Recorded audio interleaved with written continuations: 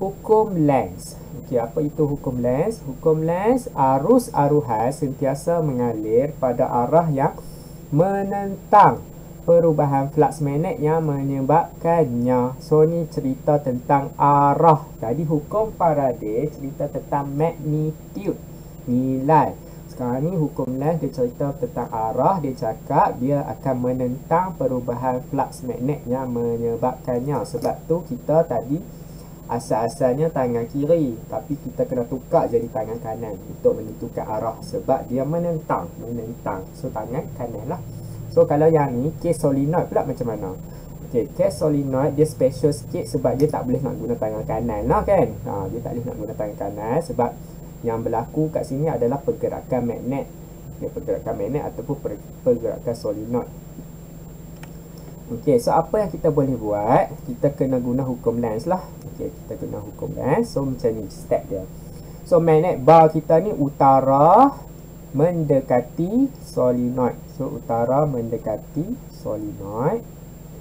So hukum Lenz cakap arah yang terhasil nanti dia kena menentang perubahan flux magnet yang menyebabkannya. So flux magnet ni sekarang utara mendekati. So kalau nak menentang menentang utara yang mendekati kita kena buat utara menjauhi lah. Ha, itu penentangan dia.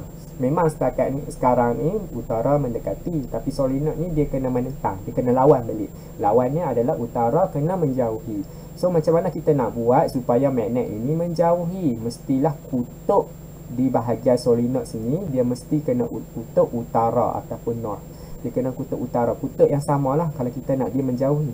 So utara dengan utara dia akan menjauhi.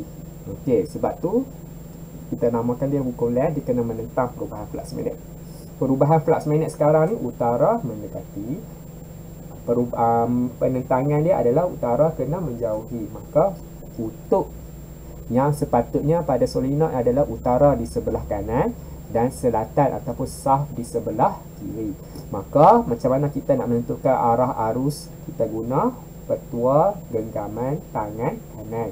So ibu jari kena tunjuk utara lah. Ibu jari tunjuk utara. Utara kita tadi sebelah kanan sebab dia kena menentang utara yang masuk tu.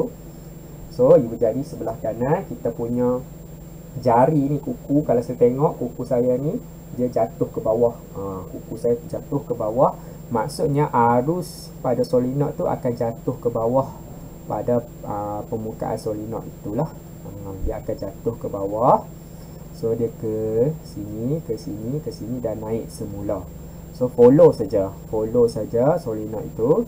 Pastikan permukaan depan dawai solenoid tu je yang jatuh ke bawah, bukan belakang dia sebab ni kita lukis 2D susah kita nak imajinasikan kan.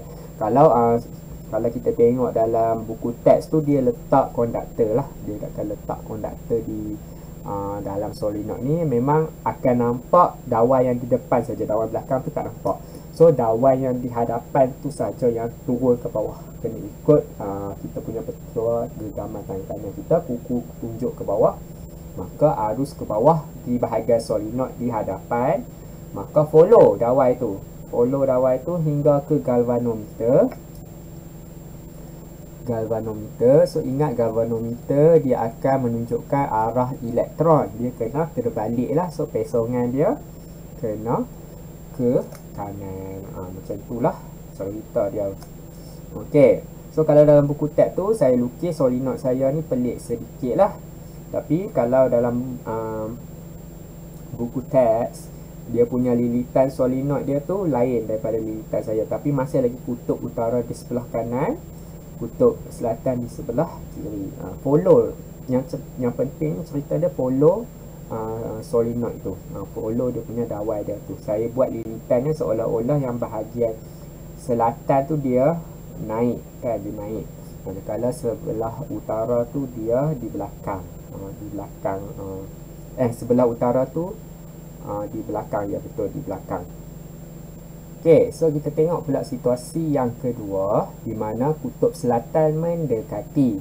Bila kutub selatan mendekati, uh, hukum Lenz menyatakan bahawa kutub selatan ni dia kena menjauhi. Uh, dia kena menentang lah.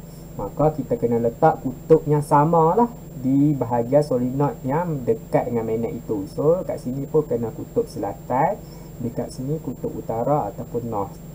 So maka kita guna balik kita punya petua genggaman tangan kanan ibu jari ke arah utara. Saya nampak kuku saya ni naik. So bila kuku naik kita pun buatlah uh, solenoid yang di bahagian atas sahaja ya. Naik. Uh, so kalau ni ada uh, konduktor di dalam solenoid ni maka kita boleh clear lah nampak konduktor yang di hadapan. So kalau saya tak lukis konduktor tu memang kita tak tahu yang mana satu depan mana satu belakang. Kan? tapi saya buat kat sini yang sebelah kanan lilitan tu adalah di bahagian hadapan lah. Lepas tu kita follow sahaja. Ha, kita punya solenoid tu kita dapati kita punya arah arus aruhan dia pusing begini maka arah pesongan galvanometer dia kena lawan lah, lawan.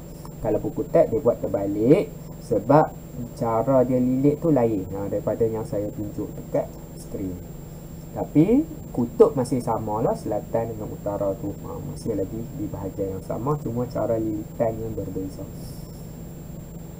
Ok so kalau utara menjauhi pula macam mana? Kalau utara menjauhi so apa yang akan berlaku? Dia nak menentangkan penjauhan utara itu. Maka dia kalau nak menentang nak lawan balik utara menjauhi dia kena utara mendekati. So macam mana kita nak buat utara mendekati? Kutub yang dekat dengan magnet ni kena kutub yang berbeza lah selatan.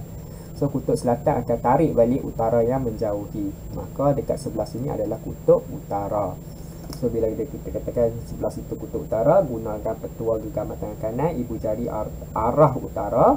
Kuku saya naik lah so again kalau kita letak konduktor dekat dalam ni kita boleh nampak clear lah kita punya uh, gegelung tu. So naik kan kuku kita naik kali ni sih. Uh, saya punya convention saya uh, sebelah kiri pula lah. Uh, sebelah kiri. Uh, sebenarnya kita tak tahu kalau saya lukis yang macam macam ni. Kita, kita tak berapa nak kita tak berapa orang kata apa ada optic illusion lah dekat kawasan uh, yang bersilang ni yang kita tak tahu yang mana satu bersilangnya tu siapa punya tetapi kalau dalam soalan exam dalam buku teks pun nampak jelas lah uh, sebab dia ada dengan konduktor di dalamnya yang boleh kita nampak uh, solenoid yang di hadapan kita saja Okay, so arah arus tu kita tengok arah yang depan saja. So yang depan semua naik. Lepas tu baru kita follow lah. Kita follow kita punya solenoid dan kita dapati arah pesongan galvanometer dia kena lawan dengan arah arus. Ha, yang pastinya kena lawan arah arus. Itu sahaja.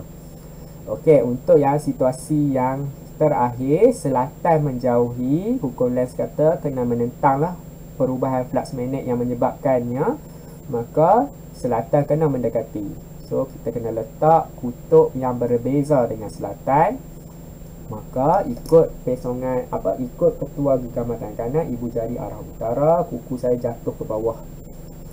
Kuku saya tunjuk arah ke bawah ke bawah ke bawah ke bawah. Maka follow balik. Arah uh, solenoid itu kita dapati pesongan dia kena terbalik daripada arah arus. Itu adalah hukum Lenz hukum Lenz uh, dia apply untuk solenoid lah uh, terutamanya untuk solenoid kalau kita guna konduktor macam ni kita guna tangan kanan length